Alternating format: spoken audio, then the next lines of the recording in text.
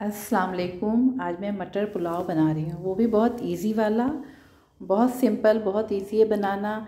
और जो लोग न्यू हैं, जो लोग सीख रहे हैं, उन लोगों के लिए तो बहुत इजी है बनाना।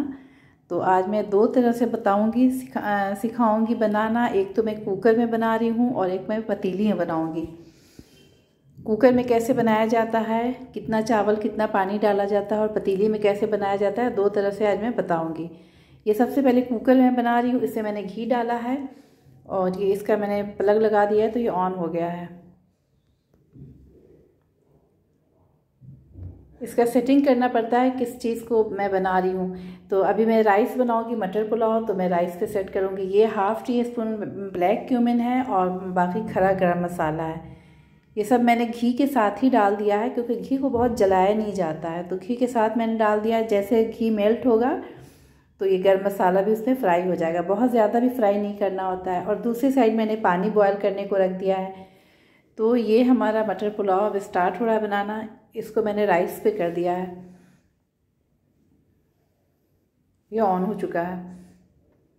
अच्छा घी मेल्ट हो गया है और इसके साथ ही इसमें मैं डाल रही हूँ हरा मटर। ये हमारा फ्रोज़न मटर है। मटर कम ज़्यादा कर सकते हैं। इसका कोई वज़न और मेजर नहीं मैंने किया है। तो ये कम ज़्यादा कर सकते हैं।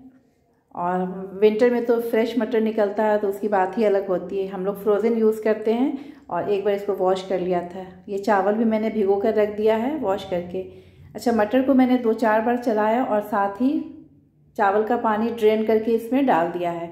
बहुत इसको नहीं चलाना है और उसके बाद मैं इसमें गर्म पानी डालूँगी, हॉट वाटर। कोल्ड वाटर नहीं डालना है, नॉर्मल वाटर, क्योंकि जब जितना देर में पानी गर्म होगा स्टीम आएगा, उतना देर में चावल गीला हो जाता है कुकर में।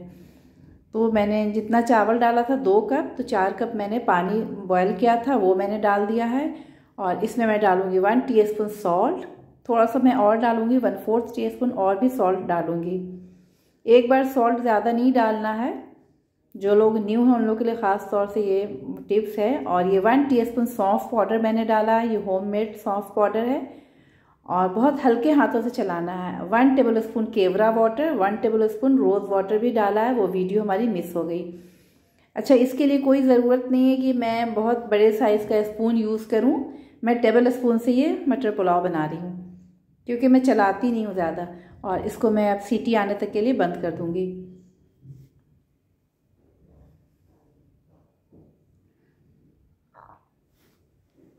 और ये तो मैं कुकर का बता रही हूँ, थोड़ी देर के बाद अब मैं पतीली में बनाकर बताऊँगी, दिखाऊँगी। अब ख़ासकर मटर पुलाव बनाना तो और भी इजी है। अच्छा जब हम लोग सौंफ लाते हैं मार्केट से तो इतना उसमें कलर होता है कि मैं वॉश करती हूँ तो इतना ग्रीन वाटर उसका निकलता है, फिर सौंफ बिल्कुल वाइट हो जाता है।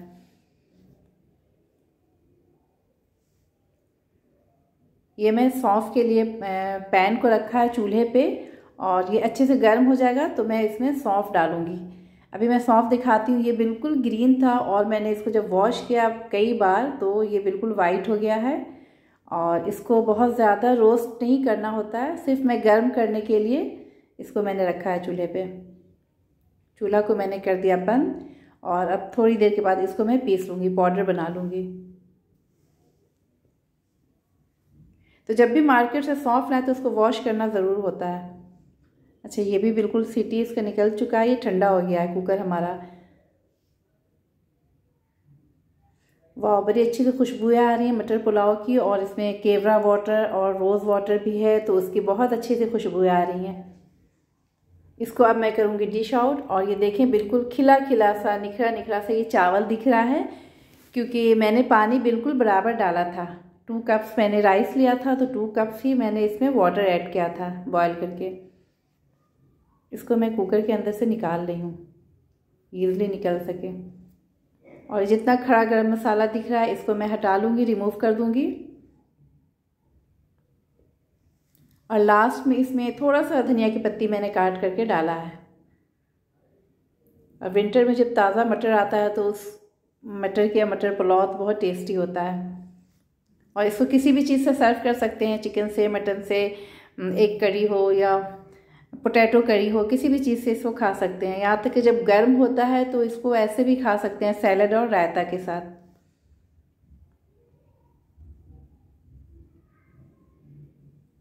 जो लोग घी में नहीं बनाना चाहते हैं, घी नहीं यूज़ करना चाहते हैं तो वो लोग ऑयल में बनाएँ, कोई ऐसा मसला नहीं। लेकिन घी का ज़्यादा टेस्टी होता है और अगर थोड़ा सा बना रहे हैं अपने खाने के लिए, घर में बच्चों को खिलाने के लिए तो मैं कहूँगी कि थोड़ा सा घी में ही बनाया करें। मैंने इसका सॉल्ट अब टेस्ट किया, बहुत मज़े का है परफेक्ट और इसको चिकन से मैं चिकन करी से मैं इसको यूज़ करूँगी आज मैं। बहुत यमी यमी सा पुलाव। अच्छा अब मैं पतीली में बना रही हूँ, वो मैं बता रही हूँ, ये मैंने कप से राइस लिया है? तो जिस कप से मैं राइस को का मेजर करूँगी, उसी कप से वाटर का भी मेजर करूँगी। ये टू कप्स मैंने राइस लिया है। चलो थ्री कप्स का मैं बना देती हूँ आज। और इसको अच्छी तरीके से चार या पाँच बार वॉश करूँगी और फिर पानी में सोख होने के लिए रख दूँगी। कोई ज़रूरी नहीं कि इसको मैं ट्वेंटी मिनट्स ही सोख करूँ, मैं एक एक घंटे भी रख देती हूँ पानी में तो कोई ऐसा मसला नहीं, चावल टूटता नहीं है, क्योंकि मैं चलाती नहीं हूँ। अब मैं पतीली में भी बनाऊँगी तो भी मैं टेबल स्पून से ही बनाऊँगी। और इसमें अभी पतीली में भी मैं घी डाल रही हूँ। जैसे मैंने कुकर में बनाया था वैसे ही बनाऊँगी, सिर्फ़ इसमें पानी अलग मैं इससे डाला जाता है। और इसमें भी खड़ा गरम मसाला वैसे ही डालूँगी, हाफ़ टी स्पून स्या ज़ीरा जिसे कहते हैं। और बड़ी इलायचियाँ, छोटी इलायचियाँ, लौंगे, दालचीनी, स्टार अनीस बे लीफ ये देखिए, सब वैसे ही है, जैसा मैंने कुकर में डाला था।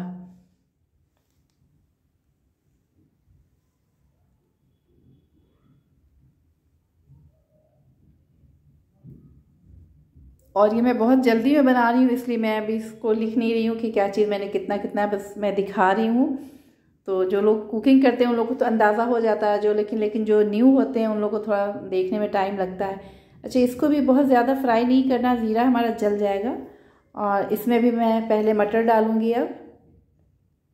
मटर कम ज़्यादा कर सकते हैं। विंटर में तो मटर ज़्यादा होता है तो ज़्यादा मटर डाल के मटर पुलाव बनाए तो और भी अच्छा होता है।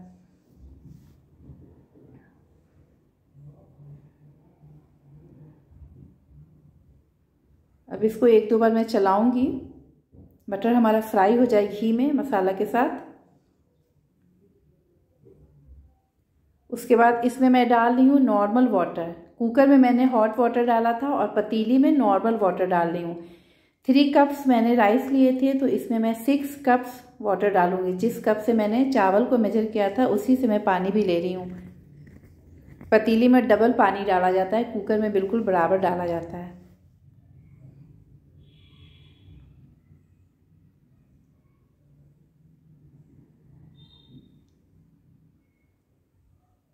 ये पानी हमारा चला गया और अब इसमें मैं डालूँगी सॉल्ट वन टीस्पून सॉल्ट चला गया. थोड़ा सा वन फोर्थ टीस्पून और भी डालूँगी मैं. एक बार बहुत ज़्यादा सॉल्ट नहीं डालना होता है.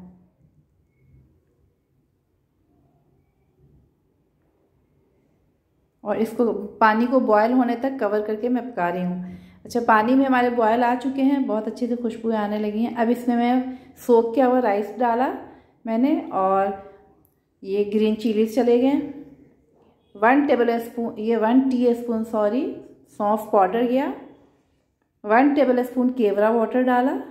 One tablespoon rose water चला गया।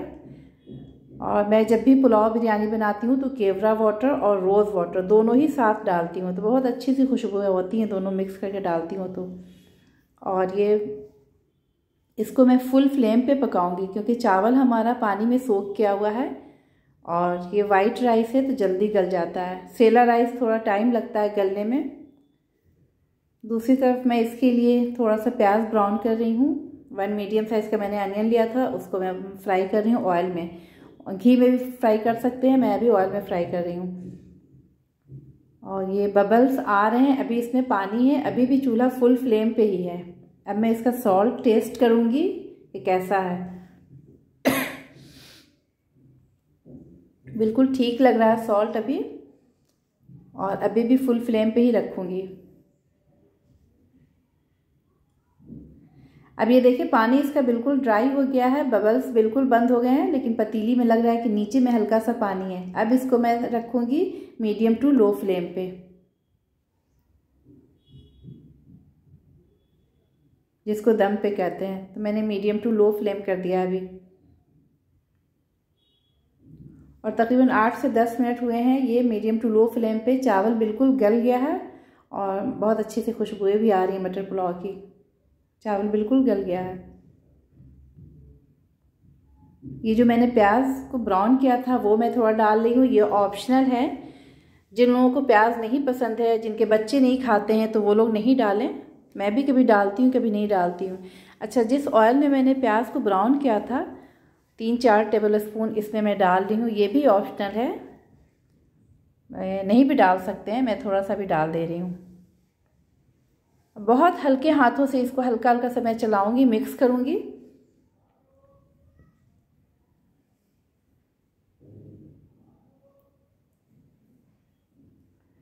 तो कितना इजी है कि इसमें किसी भी विदाउट स्पून बड़े स्पून बड़े चम्मच के मैंने इसको टेबल स्पून से, जिससे हम लोग खाना खाते हैं, उस चमचे से मैंने मटर पुलाव बना लिया। और ये यमी यमी सा टेस्टी वाला, बहुत इजी वाला मटर पुलाव हमारा रेडी हो गया, मैंने चूल्हा किया है बंद और इसको चूल्हा से मैं हटा लूँगी पतीली, क्योंकि हमेशा जब भी चावल बनाए पुलाव बिरयानी तो चूल्हा बंद करने के बाद पतीली को उस चूल्हे से हटा लिया जाता है। इसको अब मैं डिश आउट करके दिखा रही हूँ, बिल्कुल खिला खिला सा चावल है ये, एक भी लग रहा है नहीं चिपका है। ये देखिए, पतीली भी बिल्कुल साफ़ नीट एंड क्लीन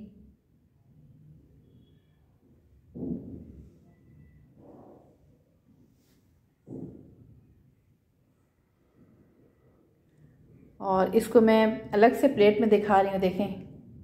एक ही, एक एक पीस को अलग अलग इसको काउंट कर सकते हैं। इतने मज़े का ये बना है। और इसके साथ मैंने बनाया है बिहारी कबाब। बिहारी कबाब की रेसिपी भी मैं अपलोड कर चुकी हूँ। तो इसको सैलड रायता, कबाब, किसी भी चीज़ से खा सकते हैं। तो ये इजी वाला मटर पुलाव हमारा रेडी हो गया। सब इसको ज़रूर ट्राई करना इंजॉय करना मुझे भी याद रखना। अल्लाह हाफिज़।